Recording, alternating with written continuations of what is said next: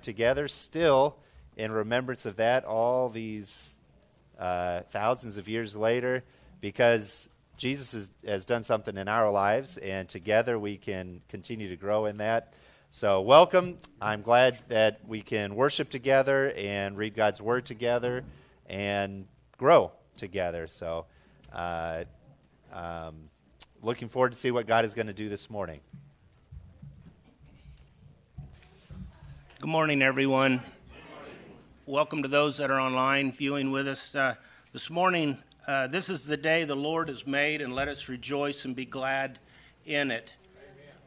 Please stand and let's raise this roof and repeat that. Let's let him know we're here. Here we go. This is the day the Lord has made. Let us rejoice and be glad in it. Amen. If you have announcements, please come forward. Good morning. It is so good to see everyone today. A um, couple of things. Thank you to those of you who who contributed things for Heartland. We haven't gone through them yet to separate them all out, but I I'll get that done and I'll let you know um, how it all came out. If you still wish to make a contribution monetary wise, you may do that. You can put a check in the collection plate and then just mark in the memo space that it's for Heartland, and we will get that to them because we are sending cash as well as the items that people brought. um, next Sunday is Super Bowl Sunday. There's a game going on, they tell me. Who? Anyway, it's also S O U P E R uh, Bowl Sunday, and so we are asking you to bring items for the, the county food bank, and that can be anything that you find necessary for your household. It is not just food. Uh, paper products, laundry products, um, personal care products, all of those kinds of things are needed and welcome. So if you could bring those next Sunday and put them up here on the altar, then we'll make sure that those get to the food bank. Also in February, on the 26th, the last Sunday in February, we're doing a uh, picnics and picnic and game day. It will be after Sunday school, and it's not a potluck. You're not bringing food for everyone. You will bring food just for your family, and we're going to do it picnic style. So if you want to if you want to go outside, I don't know what the weather's going to be like. what the groundhogs say. Anyway, um, so you bring food for your family, and if you want to get another family in with that, then you would sit and have your meal, and then we'll play board games afterwards. So that is February 26th after Sunday school. So we'll probably eat around 12 o'clock. Um, my only stipulation is you can't bring a computer, no handheld anything. Sorry, guys. Sorry, youth you have to actually play something that requires moving your hands and watching a board and interacting with other people. Um, so again, it's a picnic, so you're bringing food for your family and your table service. We will have the drinks available, but everything else you would provide would be for your family. And if you wanted to invite another family along, that's great too. well, in two church days, as Levi Lowry would say, we're going to start Women's Bible Study. If you haven't ever been a part of one and you're kind of nervous about coming, not sure if you know enough or if you know your Bible well enough, don't worry about anything like that. This is a good time for you to get together with your sisters in Christ and learn a little more. It'll be 12 weeks. It'll be at 3 o'clock in the afternoon time and a 7 o'clock in the evening time here. So if you're interested, let me know.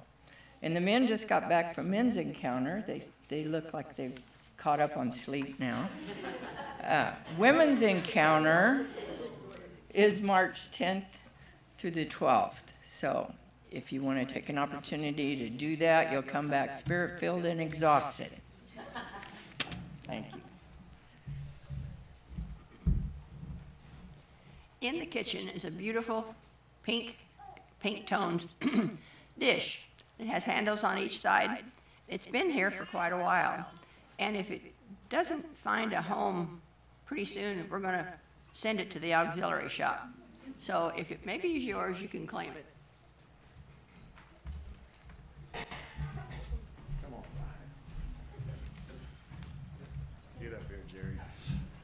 I just wanted, on behalf of all these guys, and they're welcome to say whatever they want. We we attended that men's encounter 48 hours here Thursday, Friday, and Saturday.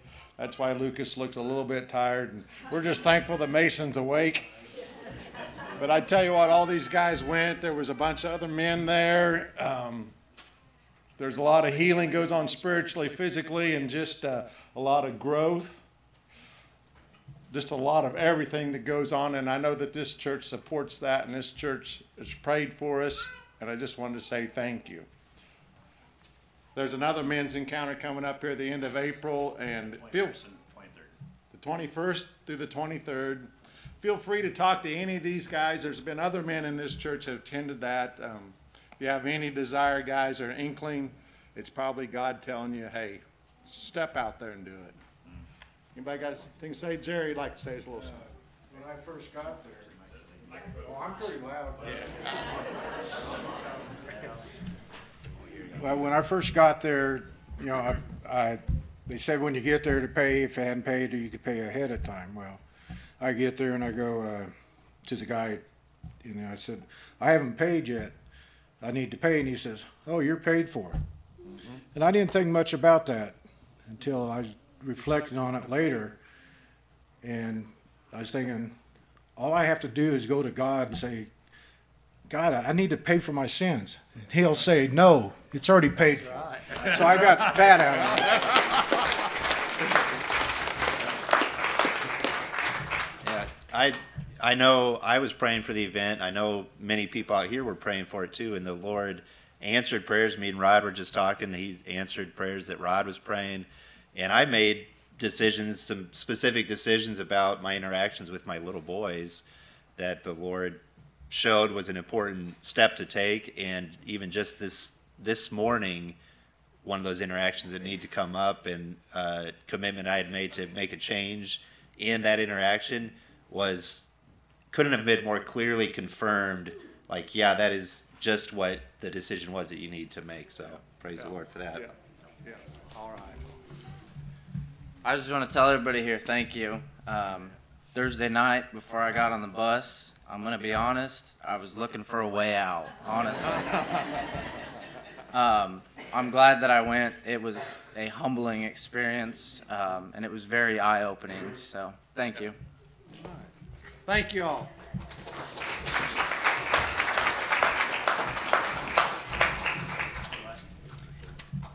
Uh, I have an announcement for youth group. We have Winter Jam coming up on the 17th, February 17th. Uh, if your kids are interested, it's six. We're taking sixth grade and up, and uh, uh, the church or the youth group pays for entry and and for a meal beforehand. Uh, we do need permission slips though, so if you're in, if your kids are interested, let us know. We'll get that and. Uh, it's just a fantastic time. We'll be leaving from the Ark at uh, 4 p.m. and we probably won't get back until about 1. Uh, so uh, it's, it's just a lot of fun. Uh, also, uh, if uh, I know there's several people that have helped with vehicles, Wanda has helped us with her van. we're expecting to take close to 20 uh, people. Uh, I know Rod's working on the new church bus, and uh, it might be uh, serviceable by that time. Uh, but uh, if you feel like serving in that type of capacity, Wanda just use, lets us use her van that that night usually. So if that's how you want to do it, or if you want to go along with us, we're always welcome to have more adult help to corral. It is like uh, corralling cats. Yep, it's it's a lot of fun. Yep. Uh, yeah. yeah. Wanda said she's out. Yep. So. So, uh, also, if the youth group has had uh, your crock pots, there's uh, we have them down in the kitchen for you to pick up. Also, so we very much appreciate this church's help in providing those meals on Wednesday nights. It has just been an absolute blessing. So, thank you very much. Men of Aulne Church, uh, if you are not involved in a Bible study, come join us Wednesday at 7. Uh, we're preparing for the Beast Feast, and we could use all the participation. So it's a good time, studies and Proverbs, and Pastor Bryan's leading that, so come and join us. So, are there any other announcements at this time? How about birthdays? Does anybody celebrate a birthday this week?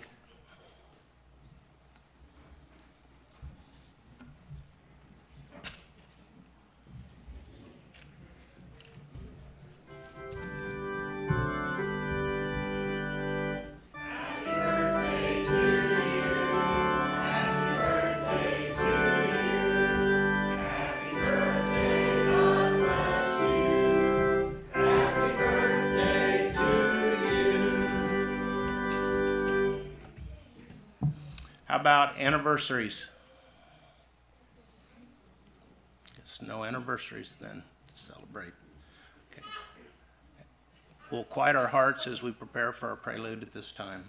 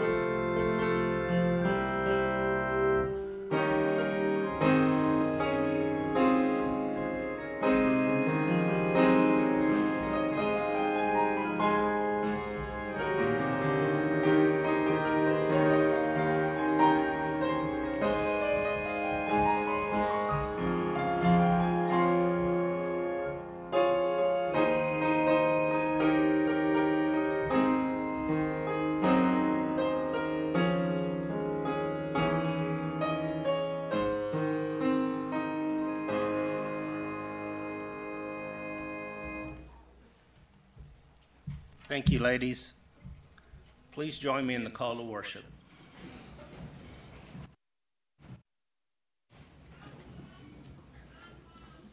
We'll read in unison. The household of God is the church of the living God, a pillar and a buttress of truth. Great indeed, we confess, is the mystery of his holiness. He was manifested in the flesh, vindicted by the Spirit, seen by angels, proclaimed among the nations, believed on in the world, taken up in his glory. Amen. Praise band. Good morning. What a great call to worship. Thank you, Tori, for that. It's good to see everyone this morning. Those of you who are here in the sanctuary, those of you who are online, we are just thrilled that you are here. We pray that as you go through the service today, you will hear or see something that touches your heart and you will share that with someone this week. From Psalm 84, 8 through 12. Hear my prayer, O Lord God Almighty. Listen to me, O God of Jacob. Look upon our shield, O God. Look with favor on your anointed one. Better is one day in your courts than a thousand elsewhere.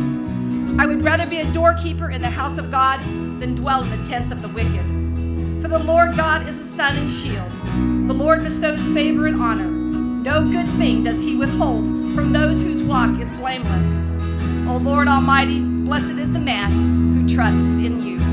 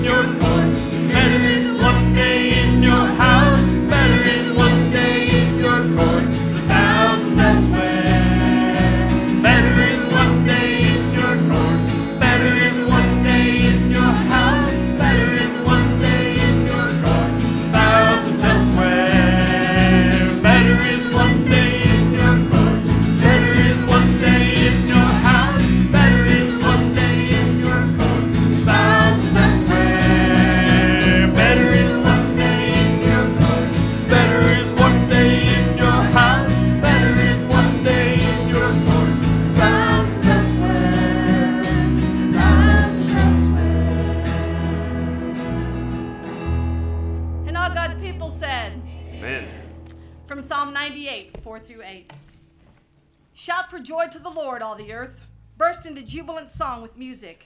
Make music to the Lord with the harp, with the harp and the sound of singing, with trumpets and the blast of the ram's horn. Shout for joy before the Lord, the King. Let the sea resound and everything in it, the world and all who live in it. Let the rivers clap their hands. Let the mountains sing together for joy.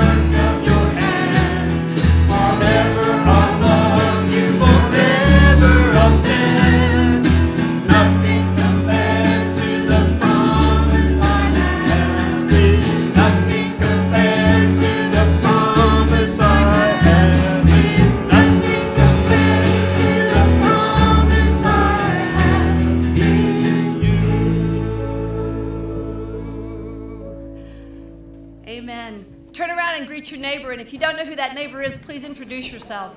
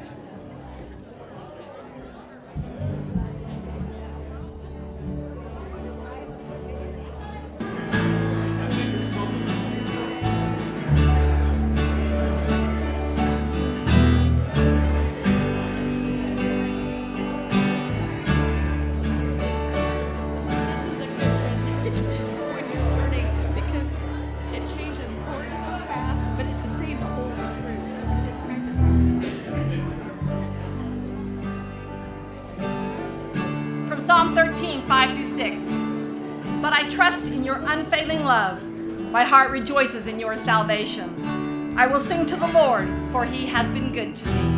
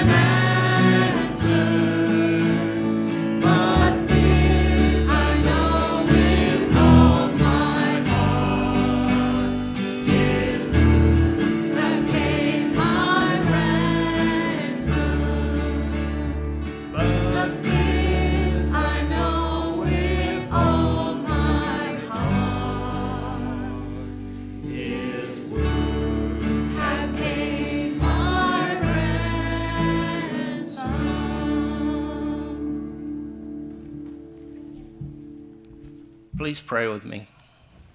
Father, we just thank you for this beautiful spring day that you've blessed us with in this heart of winter. Lord, we're so thankful for the many blessings that you show us each and every day. Lord, just let your presence be felt here among us. Please be with Pastor Bryan as he prepares and delivers this message. Be with us this week and help us to do your work. We pray this in your name. Amen. Children, come on down.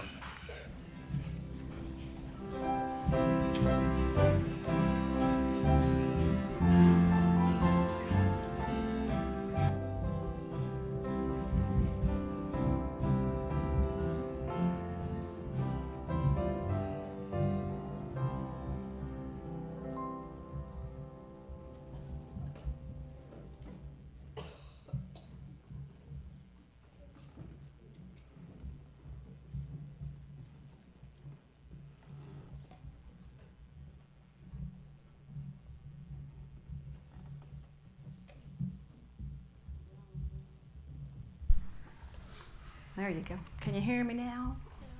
Yes. Yes. Thanks for lighting candles this morning. Morning, everyone. Oh, we have a new one. What's your name? Lucy. Hi, Lucy. I'm Brenda. It's nice to have you. I always appreciate when the girls show up. We're a tad outnumbered.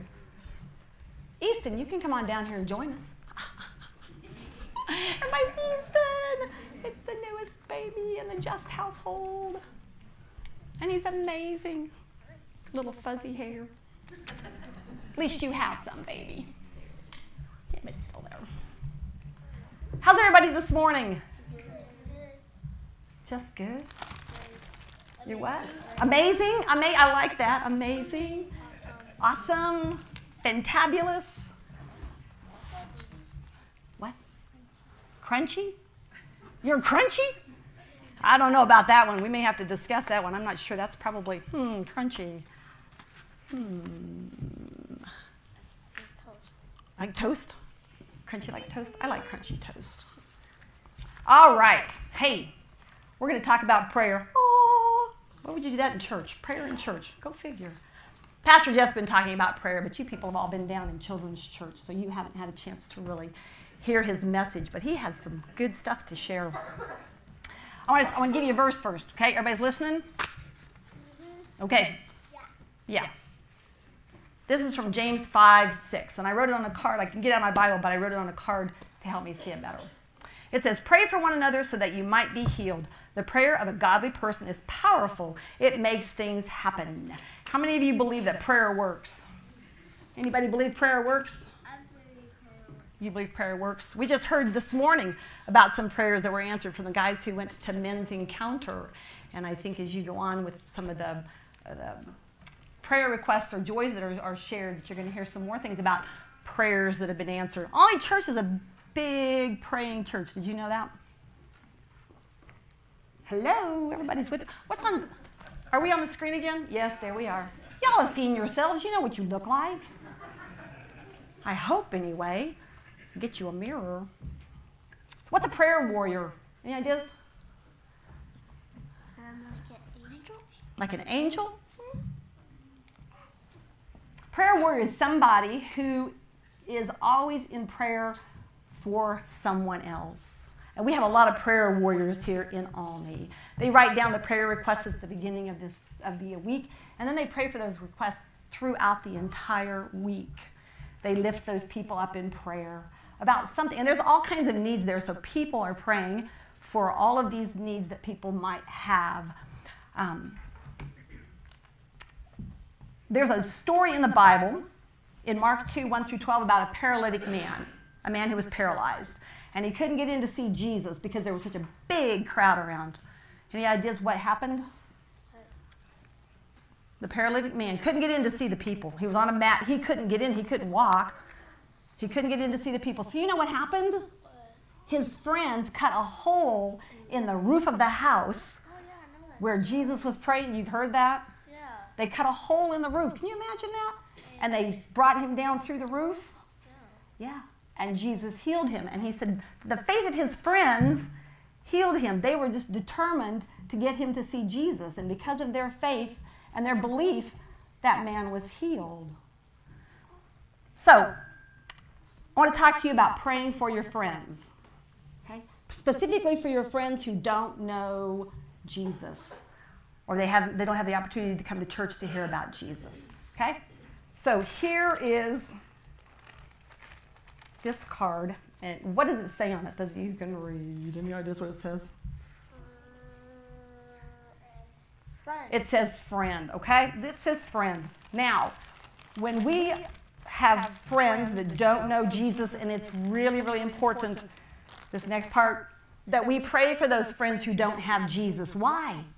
Why do those people need Jesus? Titus, why do those people need Jesus? Because if they don't know Jesus and, and they don't go to church and, and don't listen to him, they'll not go to God. They won't go to heaven, will they? They're not going to be in heaven, and that's where we want them. When they leave this earth, we want them in heaven. So we want to pray for our friends who don't know Jesus. So this is our friend who doesn't know Jesus. Okay? That's our friend who doesn't know Jesus. And here we are praying, okay? I got Dawn's light. What? It has what? A compass on it. It does have a compass. That's why I never get lost. Um, so this is so we're gonna pray for our friend, okay? Can you please do Can I do green? Oh, I know. I'll do green in a little bit. But this is my friend, and I'm gonna pray for him, okay? So here I am praying for my friend. Do you see anything? No. Can you see anything? No. Nope, there's nothing there yet, you know, but I'm going to keep praying for my friend. And because I'm going to keep praying for my friend,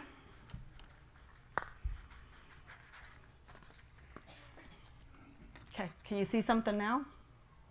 Yes. Can you see something now? the hole in our friend. I no, I didn't poke a hole in my friend.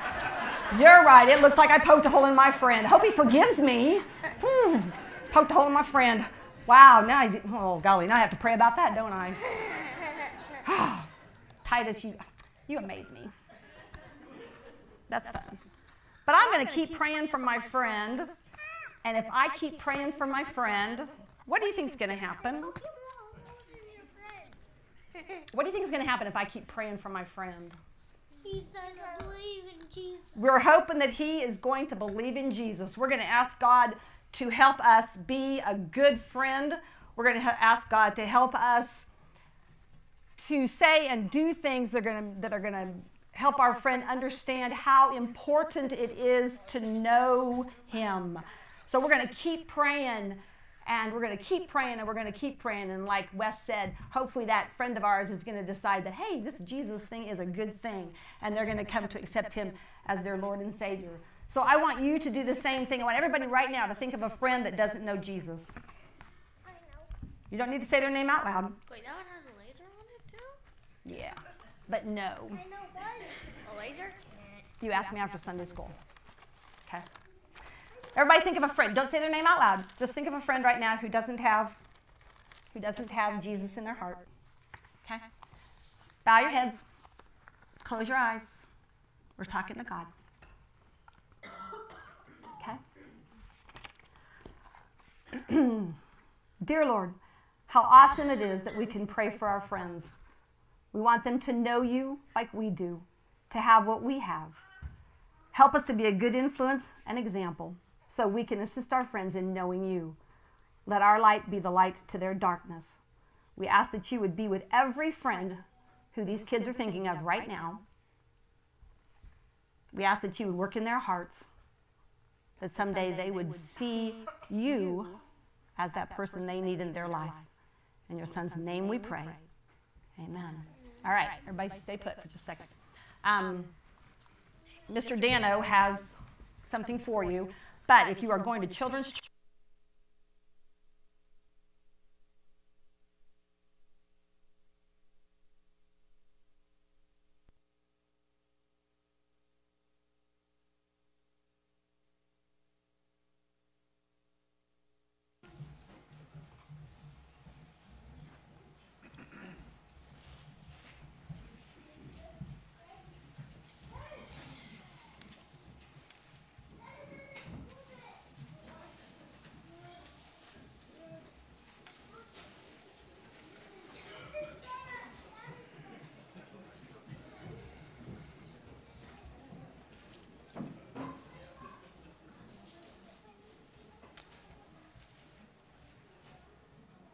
Now, uh, pray with me in our time of worship and giving.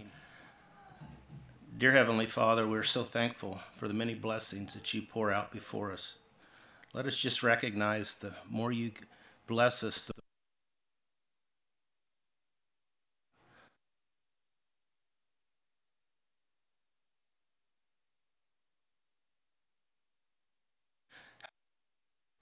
allow our giving to be part of our heart and just give to you what is truly yours. We pray this in your heavenly name. Amen.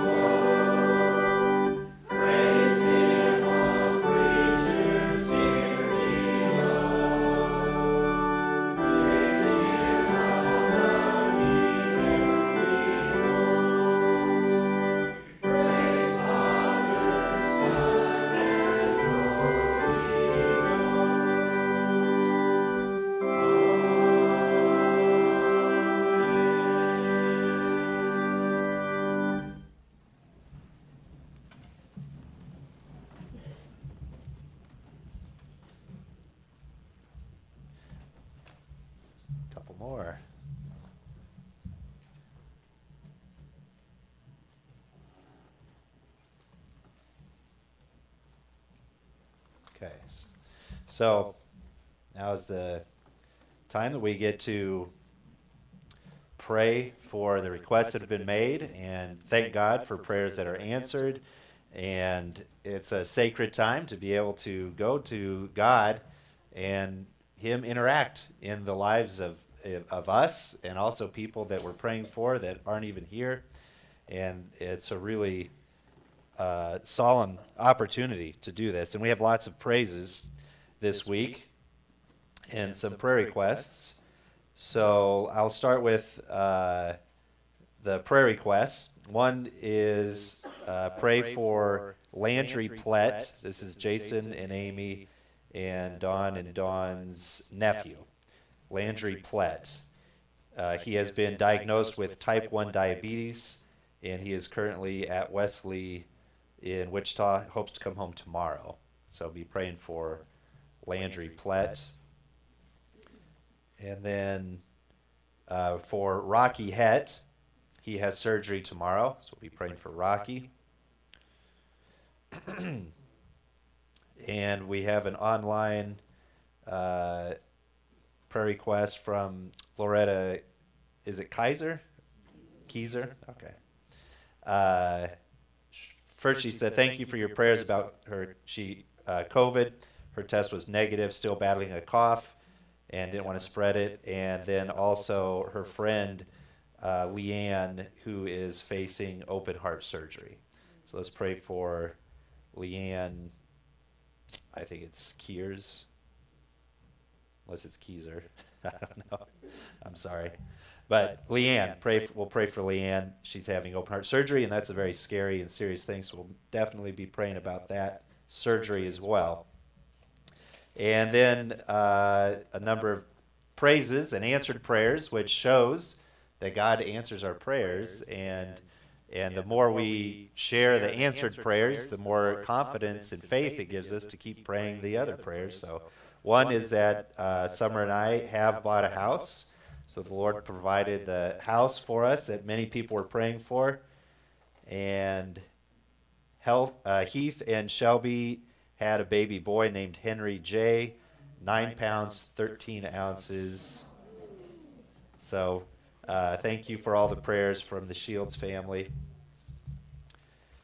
Uh, Neva came, Neva came home Wednesday from the hospital after the stent was put in, and she is thankful for the church family. God is good, and she was trusting the Lord through all that trial. And praise the Lord for answered prayers. Uh, Wanda's granddaughter Tristan is attending K State and learned yesterday that she has been accepted into the vet program. So that's a blessing. So lots of things to thank the Lord for, answered prayers, and then we have some more to continue to be praying for. Does anybody else have any prayer requests they would like to share that we need to be aware of? Okay. Well, let's take this to the Lord in prayer. Father, we thank you for answering our prayers, and we you have answered so many of our prayers. We thank you for uh, taking care of uh, Loretta, and that she has tested negative and is improving. Pray that she'll continue to improve, be able to join us again. Thank you for the good news about Wanda's granddaughter. Uh, I pray that that path that she's on will prove to be a blessing to her and to others. And uh, thank you for uh, just giving that uh, abundant blessing to her. Thank you that Neva is safe and even able to to come home. I pray that you'll keep her safe. I pray that you would use her uh, testimony to impact people's lives and see uh, what it's like for a true child of God to go through a scary and dangerous trial. Thank you for for Henry J. for bringing him to the world, uh, for answering all the prayers for the Shields family, and the, the blessing of this baby. Lord, we praise you and thank you for answering those. We thank you for answering uh, the prayers for my family to be able to have a house. Lord, you've answered that prayer quickly than ex- more quickly than expected, and uh, pray that that will we will uh, use that house for your glory uh, through hospitality, and uh, that it would be a place for people to um, have fellowship with other Christians, and maybe people even come to know the Lord there. And thank you for the reason that we've needed to buy a house in this area, that you've brought us here, that we could uh, join this family and uh, be used by you and, and be blessed by you with Aulne Church, Lord. And thank you for the blessing that Aulne Church is.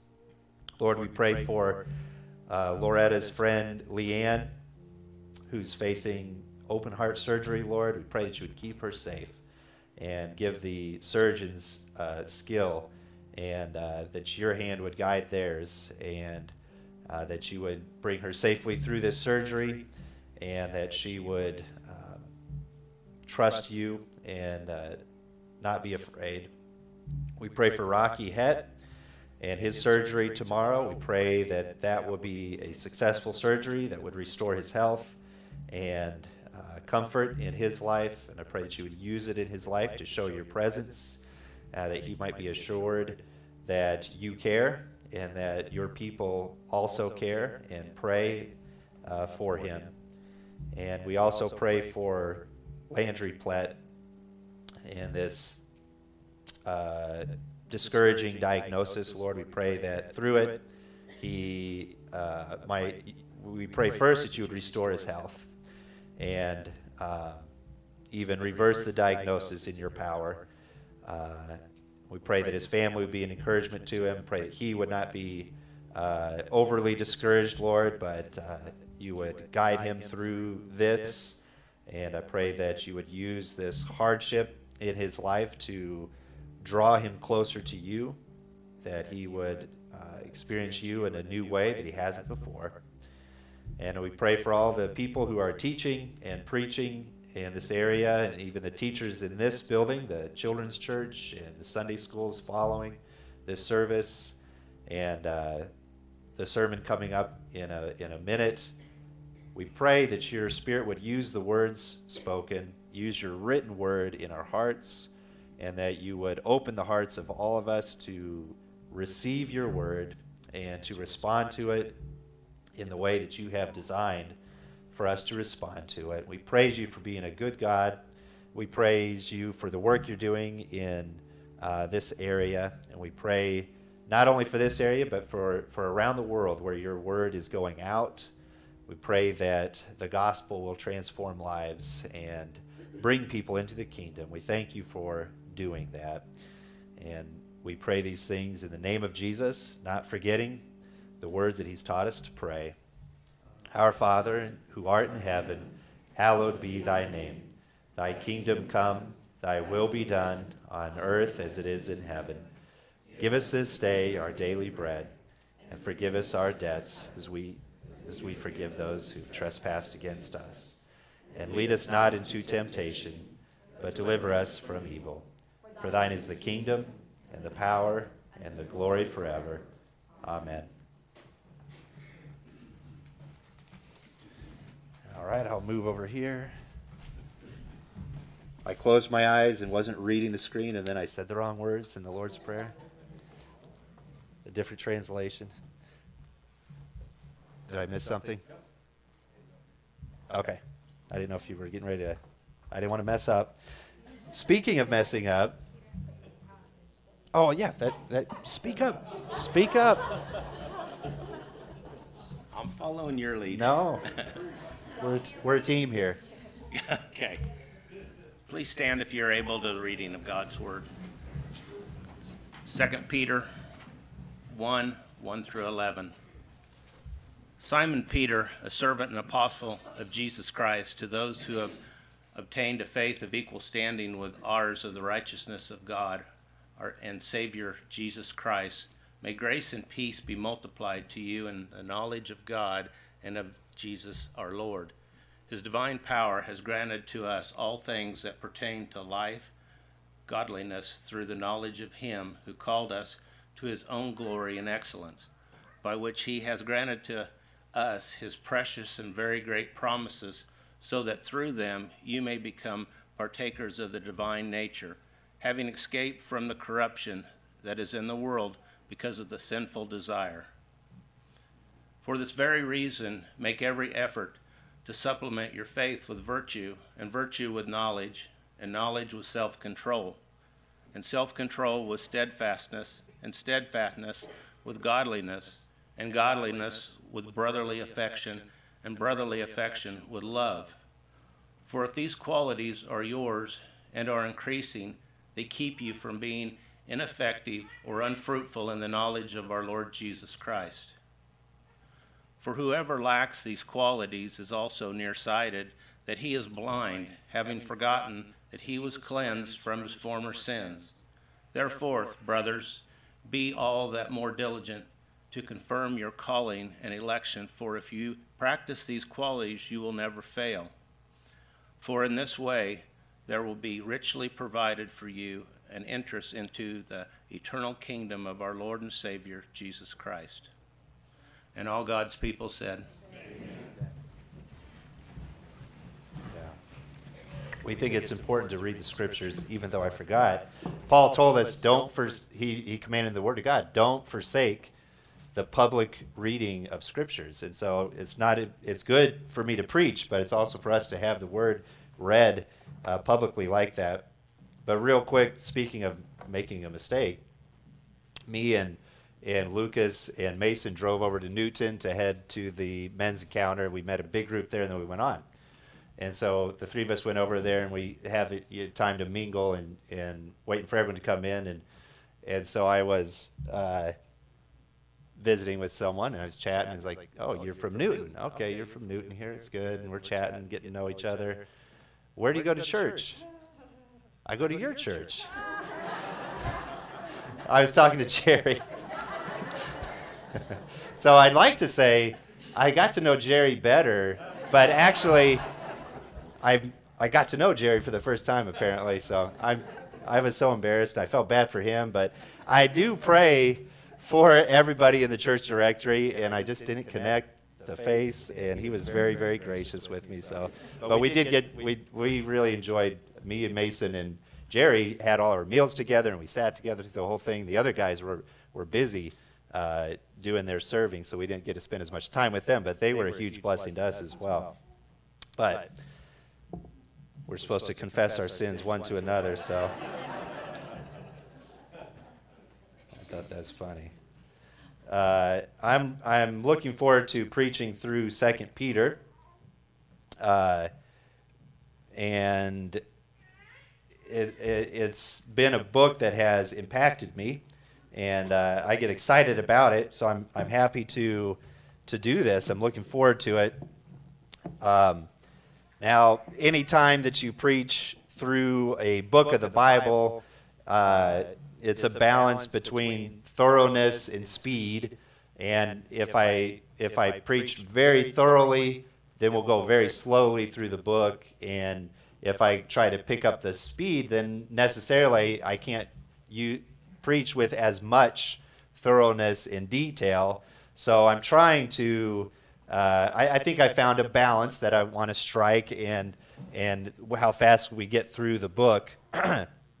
but uh, because of that, if you feel like I could have gotten more out of a verse or a passage, or I should have spent more time on it, I probably agree with you, but have sacrificed that to to not go too slowly through the book, so we can keep an eye on the whole thing. And uh, and uh, it's just the choice that I've made to get through this, but it's not because I feel like parts are not important enough. It's just trying to get through all of it. Um, so, even with the speed we're going through the book, I think we'll have a lot to learn from it and a lot to respond to. As I prayed about, the important thing is that we're responding to God's word. And also, there's going to be a lot for us to be able to respond to that we've already learned that we're being reminded of. And twice in in this book, uh, excuse me, twice in this book, uh, Peter says that he wants to stir up the readers by way of reminder. So it's that's why he wrote the book to this letter to whom he was writing it was to stir them up by way of reminder. And uh, he has some other references to forgetting and remembering besides those two specific phrases. And God wants to stir us up by way of reminder. And so much of our Christian walk and our growth isn't learning something brand new. Now, for a new believer or someone new to the faith, there's a lot of learning new things they've never heard of before, never thought of before. But for many of us, uh, while we do keep learning new things, we don't want to neglect remembering the things that we've already learned. Those are important to continue to go back and to visit, and it's just spending time with things, discussing it with people, um, reading them. And I have found that I don't set out to say, all right, I want to figure something new out I've never thought of before. Here I go. Let me see what I can find. But when I just spend time going over the things that I've already learned, like the I learned a lot in the Lord's Prayer, and I've spent years meditating on the Lord's Prayer. But I go back to what I've already known, and I'm remembering it again. And God can teach you new things as you intend to remember what you've already learned. So uh, we we never want to approach God's Word in our personal time or with others. Say, "Oh, I've I've heard this one before." We Paul wants to stir us up, and God wants to stir us up by by way of reminder. And let's see if I can click this.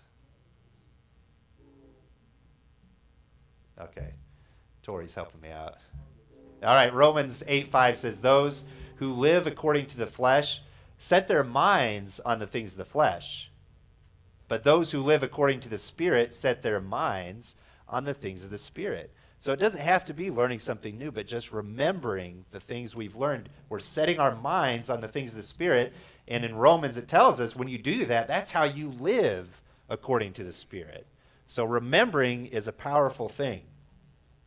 And uh, let's go ahead and, and, well, the next slide here shows us we're just going to be looking at verses 1 through 11. So that's the chunk that I think is a, is a section.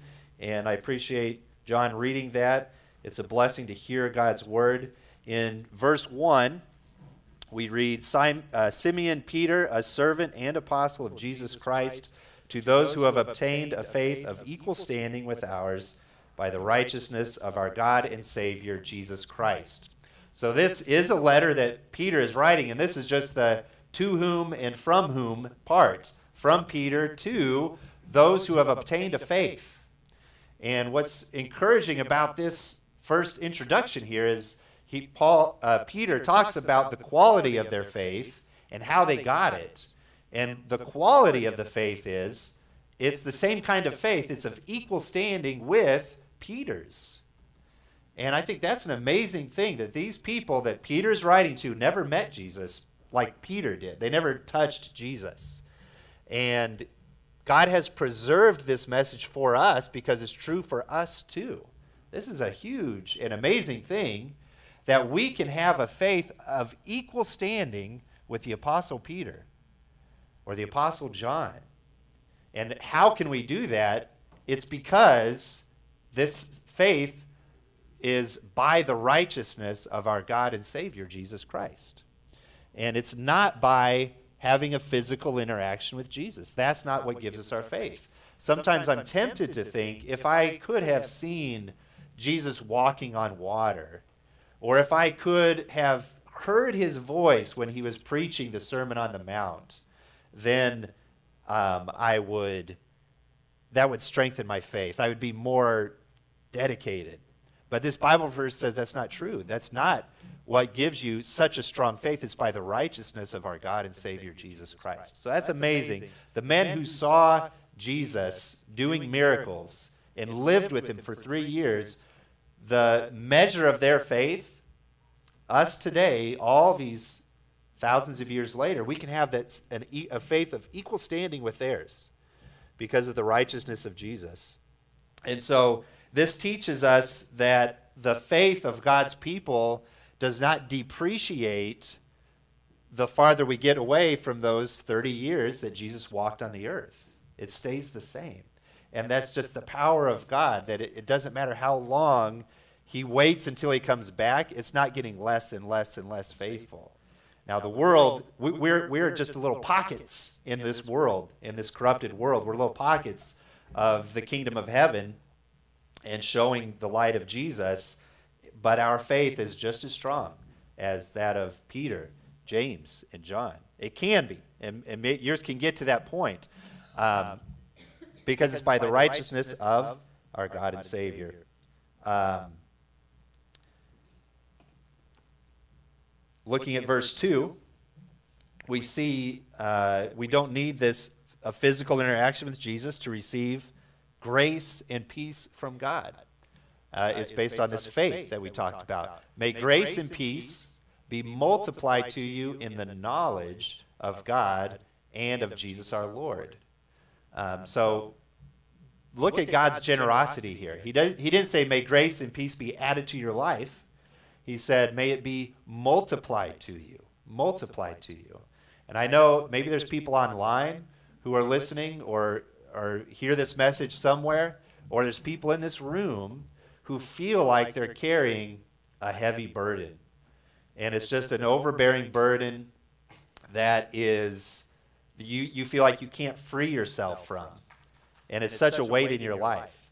Or maybe there's people here who feel like they're dying a death of a thousand tiny cuts. And it's not just some real big thing, but it's just the, their life right now is full of all kinds of small stressors, and they feel like it's going to drag them down. And I want you to think if you're one of those people, or if you know you've had times like that, or you're going to have it in the future, you find some little thing that gives you a little bit of peace in your life. Uh, maybe it's a vice, or maybe it's not a vice. It's just this this little practice you have, this little uh, pleasure, and it, it may, it, maybe it's wrong, maybe it's not even wrong. It's nothing wrong, but it just gives you a little bit of peace in this tr- struggle you're going through. And it's just a way you can add a little bit of peace to your stressful life. And I want to start off this sermon saying, uh, think about that peace that you've got that gives you just a little bit of reprieve, and don't settle for that. In God's word, He's promised to multiply peace in your life and multiply grace in your life. And we can add little bits here and there, but God can multiply it in our life. And this is Peter's prayer. And he says in, verse, in the next verses, he says, How this happens. How can we have God's grace and peace multiplied in our life this many years after Jesus came? It says, His divine power has granted to us all things that pertain to life and godliness through the knowledge of Him who called us to His own glory and excellence, by which He has granted to us His precious and very great promises, so that through them you may, may become partakers of the divine nature.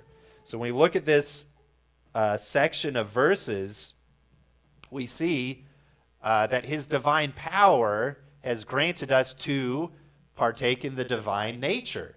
Look at the beginning and the end there. That's it, that's what it's leading to, his divine power. So how do we have grace and peace in this life? By taking part in the divine nature. Of course, that will do it, right? If we are only taking part in the human nature, then we're not going to experience thing, anything differently than what is normal to the to the troubling human experience. But if we t- take part in the divine nature, then we will experience something different. Our lives will be filled with grace and peace. And this kind of hits on that idea that we talked about with the Lord's Prayer God is our Father, and children grow to become like their parents.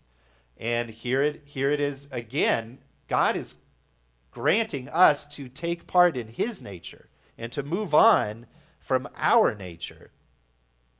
And uh, this is this this happens as we as you see here through specifically knowledge.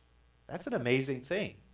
We can take part in God's nature, and it starts uh, with knowledge through the knowledge of God, knowledge of Him who called us to His own glory and excellence. So there's another hint of this taking part in something differently than what we have been taking part in. I, I can take part in the divine nature. He's calling me to His very own glory and excellence. He's calling me to something higher, and we will only benefit from this journey. But it starts with knowledge that we gain through God's Word, and that's why it's important that God's Word is richly dwelling in us to, to really commit. This is now the second month of the year, so we've got the whole year ahead of us. I strongly encourage all of us to make an intentional and thoughtful plan. How am I going to be spending time in God's Word? Where am I going to do it? And what, what am I going to do? What's my plan just to be getting God's Word in me more? And um, if you don't have a plan, it's less likely to happen. Maybe it won't happen for sure, you know, like if you don't plan on doing it. And so this morning, if you, if you, I encourage you to, I, I heard another pastor preaching this. When you leave here tonight at some time, make the plan to figure out how you're going to be getting God's word in your life more frequently. And if that's too much for you, when you leave today, tonight, make the plan. Decide that what time is it this week that you are going to sit down and make the plan to do that. So if if you don't commit to do it, say, I'm going to do it this week, though I am going to figure out how I'm going to do it. And I think that's really good advice because that's how we start to, to take part in the divine natures through the knowledge of Him. So we've got to be feeding ourselves this.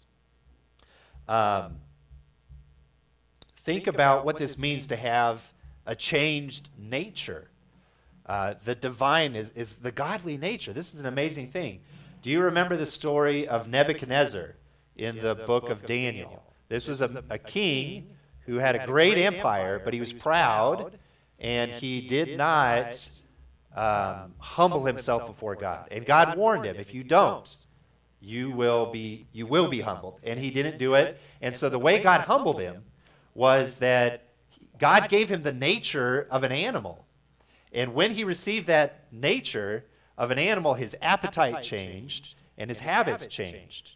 And he didn't have enough sense to come in out of the rain. And he was eating grass. And he didn't he didn't partake partake in any uh, you know any uh, personal hygiene for seven years. So God gave him the nature of an animal, and then after seven years of living like that, he started looking like an animal, right?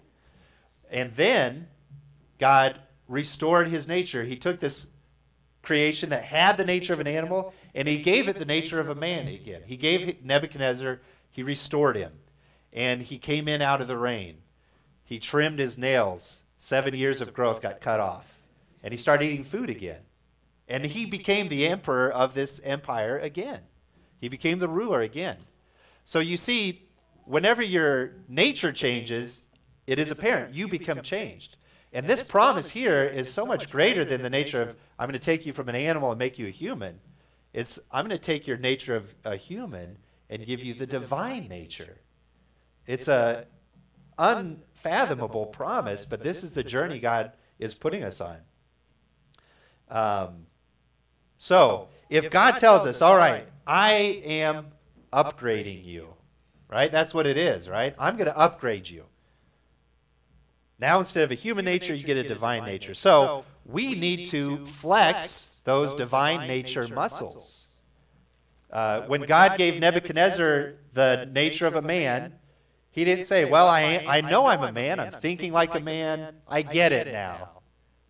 But I'm going to keep eating grass and live sleeping in the rain. No. Because it was his nature, he got up and he started doing something, right? So let's look at these, this next section of verses here. It says, uh, so that through this, these promises, that, that's what uh, it said, through the knowledge of God's word, through the promises, right? Uh, by which he has granted to us his precious and very great promises. So we look for the promises in God's word, and it's through those we may become partakers of the divine nature. And this is the next part having escaped from the corruption that is in the world because of sinful desires. When we have the divine nature, it's an escape from corruption. If we don't get that escape, we're participating in the corruption. And when you think of corruption, uh, think don't think of don't just think of moral corruption, but try to think of like um, um, destruction or corrosion, uh, something being broken down from just uh, being left out and left alone. And that's what, what happens to, to us. If we don't get that escape to the divine nature, we're getting corrupted. And it does show itself in moral failures, but it's, just think of how it's destroying you. And we want this escape, and we, we want to experience it. We do that by flexing those divine nature muscles. And the next passage shows us how to do that, or the next uh, verse there. So, for this very reason, make every effort to supplement your faith. It starts with faith, okay? It starts with faith. We trust that knowledge that we read, that we learned in God's bi- uh, word. We trust, we put our faith in those promises that we read. And Mason talked about that. He's, he's, he's got a faith that he didn't quite have before. He learned something, and then he started putting, he started trusting it differently than he did before. And that's what happens to, to me. That's what, what led to my, the decision that I made. I heard, I heard a message from God, and I trusted it, and I acted on it. So it starts with faith, but it doesn't just stay with faith. He says, make every effort to supplement your faith, to add to it. So let's look at this list in the next verse here. For this very reason, make every effort to supplement your faith with virtue, and virtue with knowledge, etc. Let's look at each one first. So we don't just stay with believing, but then we supplement with virtue. So virtue is living at a higher standard that you did before, a moral standard, an ethical standard, but still staying humble. So we add to our, our faith virtue. We should start seeing a change in our life, like Nebuchadnezzar did. And then we add to that virtue, that higher standard of living, knowledge. We're always learning. We don't say, I've learned enough. We keep learning. And uh, we add to that knowledge that we've learned self control, being diligent to control ourselves according to the knowledge we've gained. It doesn't just stay in the mental realm, but then it, it plays out in the way we control ourselves. And then we add to that self control steadfastness. So that's keeping, keeping, up, keeping it up, uh, sticking to it. Um, it's persevering. We're going to have ups and downs, but we keep doing it. We keep working. We keep exercising the self control. And to that steadfastness, we add godliness. And so, godliness, we can think of this as far as godliness is, is I'm not comparing myself to other people. I'm not comparing myself to my past self. I'm comparing myself to God. And I'm progressing and I'm growing to be like Him. And I'm not even comparing my, I'm not even just focused on the growth. I'm focused on the one who I'm growing towards.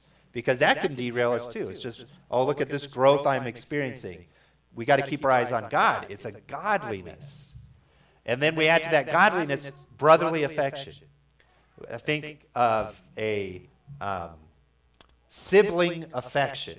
That's what he's thinking when he says brotherly affection. In our terms, we might say a sibling affection.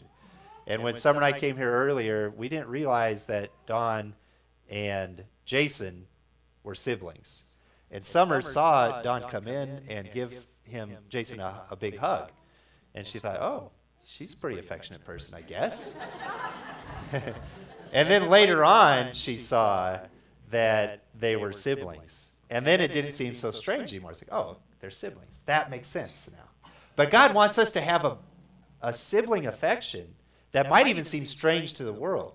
And, and it, I'm not talking about a, a physical affection, but a real care and love for people that to the world seems strange. Oh, it's like they're siblings or something. That's what, the, what God wants us to be growing towards. But then, as important as that is, He wants us to even add to that, to supplement that with love.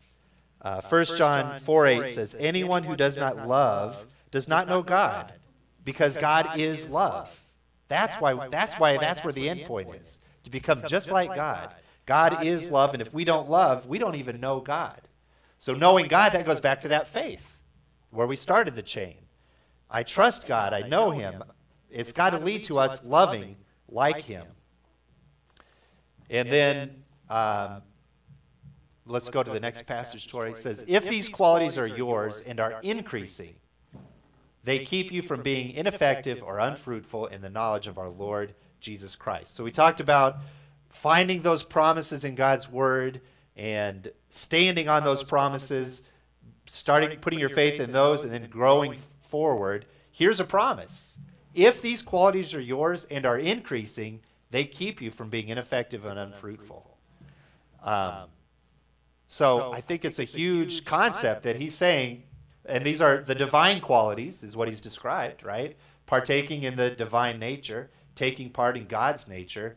If these qualities are yours and are increasing, this promise doesn't work if they're not increasing. So if we take out that increasing part, you say, if these qualities are yours, then they keep you from being ineffective, unfruitful. But that's not true. You've got to be increasing in them, always increasing. We, our life is swimming upstream. And as soon as you decide not to gain ground, as soon as you say, I'm just going to tread water, you start going backwards, right? Because you're going downstream.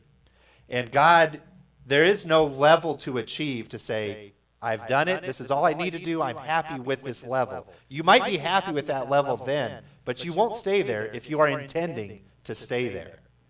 As you strive to increase and grow, sometimes you have times in your life where you are maintaining, but you're only maintaining because you're striving to grow. But then God also blesses, and we do experience growth as we strive. These qualities have to be increasing in our lives, and if they do, they keep us from being ineffective and unfruitful.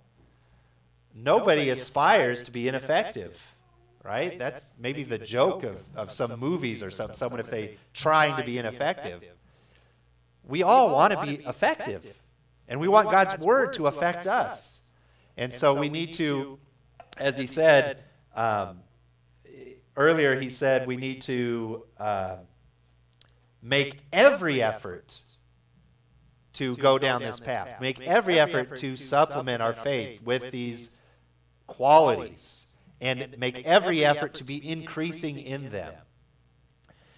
And then we won't be unfruitful or ineffective. When, when we lived in Thailand, uh, in one of the cities we lived in, we had, it was probably like a 40 foot mango tree right next to our house. And you would hear the mangoes crash onto the roof.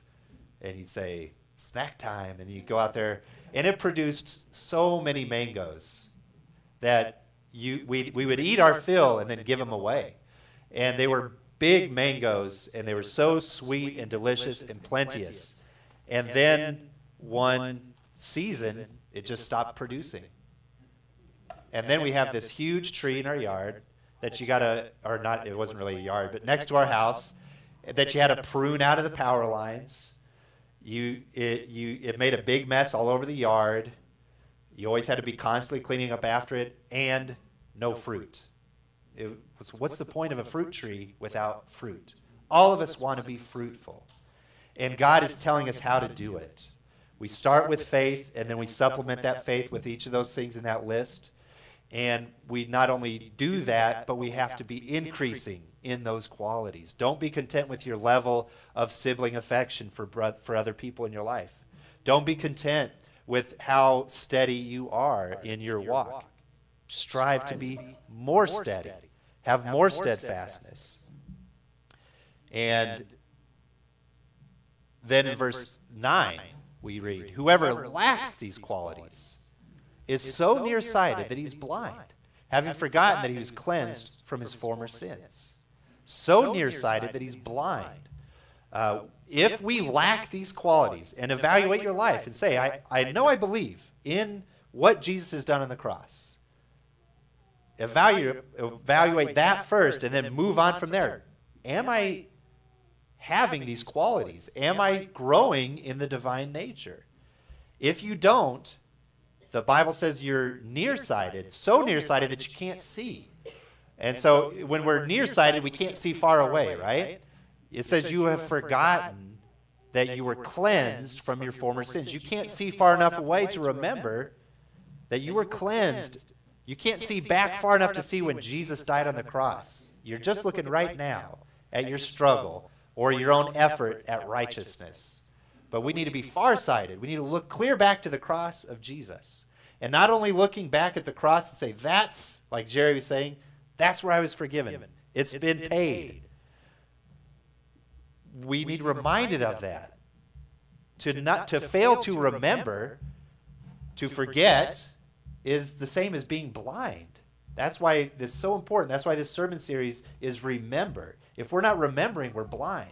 So look back at the cross where Christ washed your sins away.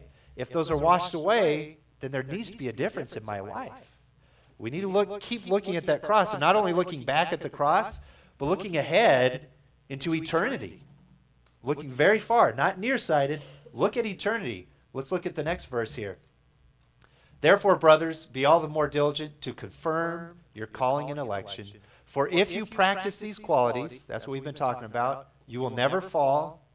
For in this way there will be richly provided for you an entrance into the kingdom of heaven of our Lord and Savior, Jesus Christ. We look way back at the cross. We look way up into the eternity future when we're going to be given a rich welcome into the kingdom of heaven. And God told Jesus told the story about the kingdom of heaven where he said a king went off and he left money with people to see how they'd handle it. And the one that that was the most fruitful with it, the king said, "Here have 10 cities." The one that was less fruitful with it, he said, "Here have 5 cities." And the one that didn't do anything with it, he didn't get entered, he didn't get allowed into the kingdom. So you can see that you can have a rich entrance, you can have 10 cities or maybe 5 cities, a less I'm not going to, you know, who's going to nod their head at 5 cities, right? But there's different degrees. How how diligently we are to live our faith, to grow into these divine qualities. We got to have a far sight and say that's how rich of an entrance I'm going to receive into the kingdom of, of heaven, into the eternal kingdom. Uh, and it gives us assurance in this life that I that I get it. It gives you assurance that your faith is genuine. Because we may be tempted to say, "What if my faith isn't real?" Well, you look at the fruit, you see the growth, you say, "I'm not. I'm acting more like God than like humans. This faith must be real. It must be changing me." And he said to to emphasize to us that this is not a work that we do because we are diligently adding to our faith all these qualities. But Paul, uh, Peter uses the strongest terms possible to make sure that we don't get confused and think our efforts at doing this is our salvation. This is how I get a right standing with God. This is how I get that entrance into the kingdom of heaven. He uses the strongest words that the Bible uses. He says, confirm your calling and election. And I know this can be a controversial thought, and it can be a troubling thought to some people. Everybody, if you if you're familiar with it, everybody's got an opinion about it. But I want us just at, at this passage to think about why Paul is using this expression that God has elected you for this journey, so that you don't think in your uh, in all this making every effort to add to your faith um, virtue and and steadfastness and self-control that you don't think that is why I'm saved. That's why I'm a child of God. No, it's because He has called you. You start with faith, right? We read that the beginning. It starts with faith, but before you started with faith, before He gave that list, He said His divine powers granted us all things that pertain to life and godliness through the knowledge of Him who called us. It does start with the calling. You responded to His calling in faith. It started with His calling, and so we've, we've brought up this subject of election. There it is. It's a word in the Bible, election. And, and I, I don't, and, and that's connected with the, of, the idea of predestined, right? Predestination. Don't let the word scare you. Don't let it confuse you or frustrate you or say, I've got to figure this out. It's all right to pursue that, and, and you should figure it out. That's growing in knowledge. But think about this. If God says, if, if you're standing at the foot of a cliff and you say, I've got to, I've got to go participate in the divine nature. So that means I've got to make every effort to scale this cliff. It's a mile high. And then somebody comes down from that cliff and says, Did you know it's your destiny to stand at the top? This is what he this is why he brings it up. He wants it to inspire you. He wants it to encourage you to say, I don't think I can do that. And if you believe the person that says your destiny is to get to the top, then you say, Oh, I can do it. I will make every effort. I'll risk it. I'll strain every muscle in my body, and because it's my destiny to get up there, I won't fall. And that's what he said. If you practice these qualities, you will never fall. And so, pursue God's word and try to learn from him. Um, but for the conclusion of this sermon, what I want us to think this idea of he uh, makes your confirm your calling and your election by doing these things. If, if that was a movie you were watching, someone getting ready to scale a cliff, and the guy, messenger comes down and says, It's your destiny to get up there, you, the viewer, you got to decide is that real or is it not real? And then you don't know for sure. Then the person starts climbing the cliff, and you say, I wonder if, the, I wonder if it really is his destiny, or is it a trick, or is it just wishful thinking? And you're still wor- worried, is he going to fall off, right? But it, it compelled the guy to go and do it. And let this message from God compel us to make every effort to add to our faith virtue, and to virtue self control, self control steadfastness, and to steadfastness um, brotherly affection, and to affection love. And we can pursue that. And this, so Paul, uh, Peter thinks that remembering is very important. And we're going to see next week what, a- what steps he took to make sure people could remember these things. And he wants us to be specifically remembering um, the promises of God that we find in God's Word. So let's go ahead and stand together and we'll sing Standing on the Promises. Let's go ahead and, and ju- let's sing the first and the last verse, if we can. The first and the last verse of Standing on the Promises. And be thoughtful of Peter's teaching as we sing this.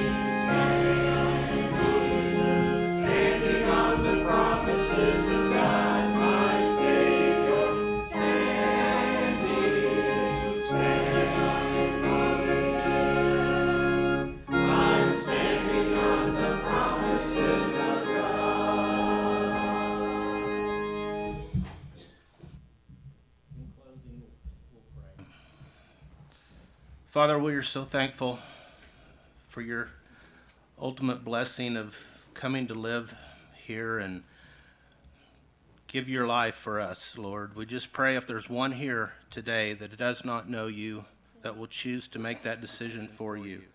Father, we are thankful that your word is wisdom and knowledge. And as we strive this week, this is building blocks for our life. Let us go about this humbly, Lord, and just know that we are a work in progress. Help us, Lord, to reach the goals and achievements that you have for us. And we pray this in your wonderful name. Amen. Amen.